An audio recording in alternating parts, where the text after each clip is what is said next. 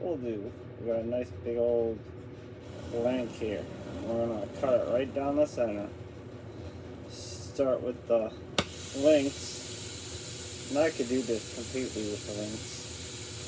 With the Mirage Flame, will speed it up. Just let it roll down. Roll down like a big old log going down a hill.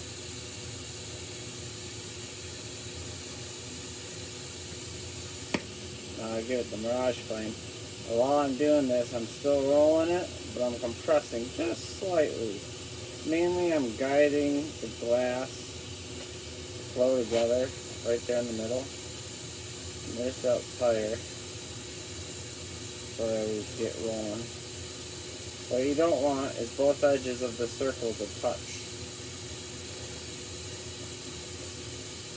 You don't want it to fold on you. Just keep heating it up, let it collapse. Drop it down in the candles if you like. Now we got like a good quarter inch wall on each side. So we got the heat base started. and now just start pulling.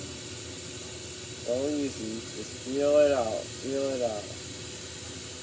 I'm kind of staring right at the center here. And then as I get further out, like put my arms out. And then I kind of work on, work at the ends of the blow tubes.